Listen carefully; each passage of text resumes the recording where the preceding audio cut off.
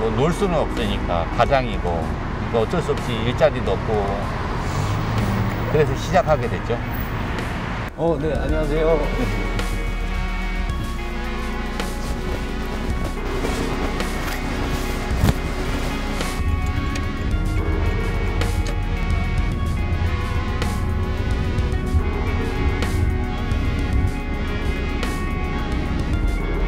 회사 측에서 그 연차를 소진하라고 하더라고요. 연차 소진하다 보니까 그 다음이 무급, 그러니까 무급 휴가 얘기가 나오더라고요. 그래서 대부분 무급 휴가를 다 지원을 했어요. 근데 막상 모였는데 회사 측에서는 우리도 파라다이스하고 도급 계약이 끝났다. 끝났기 때문에 당신들하고도 계약이 자동으로 종료가 된다. 오늘 이 시간부로 수송부는 폐쇄를 시키겠다. 기존에 사물함에 있던 짐들은 다 빼가시라. 해고를 하루아침에 당할 줄은 몰랐죠. 그것도 해고도 당일날 해고 통보를 받을 줄 몰랐죠.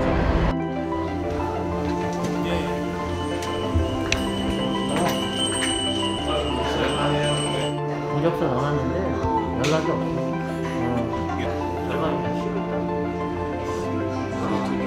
자기네들은 소급 계약이 종료가 됐기 때문에 너희들 하고에도 근로계약을 종료하겠다.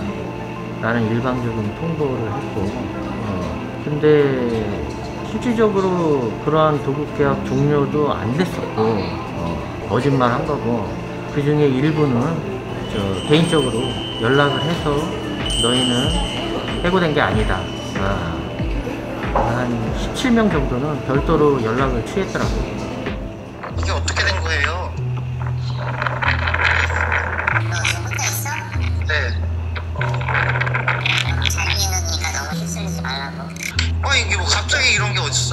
진짜. 정리를 한다고 했는데 저기가 자, 말을 잘못했대 보니까 지금 스물 스물일곱 명을 빼고 열두 명만 공부하라는 거야.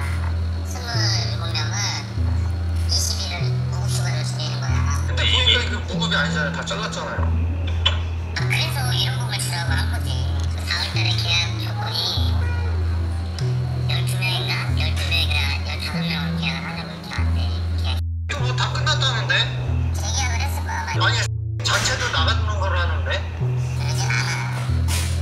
회사 측이 뭐 얘기하기 전에 직원들 사이에 코로나 때문에 회사가 좀 어려워지니까 우리도 고통 분담의 차원에서 같이 하자. 그래서 무급 지원자도 거의 다 했고 고통 분담을 할수 있는 방안이 있었는데 회사 측하고 현장 대회는 뒤에서 구조조정을 하고 있었더라고요. 평가에 대한 자료거든요. 이게 이제 3개월 동안의 평균치거든요. 이렇게 지금 색깔로 표시한 직원들이 최고 통보에서 이제 제외된 직원들이거든요. 네. 근데 이 사람들의 순위를 보면 물론 이제 순위가 높은 직원들도 있지만 하위권에 있는 직원들이 많이 선정이 돼 있어요. 네. 그렇기 때문에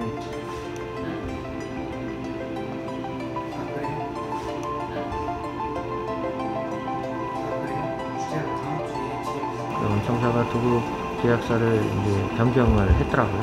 그래서 저희들은 음, 나중에 알았는데 그래서 이제 저희들이 이제 원래 소속돼 있던 그 도급사를 상대로 이제 아무것도 할 수 없는 상황이 된 거죠.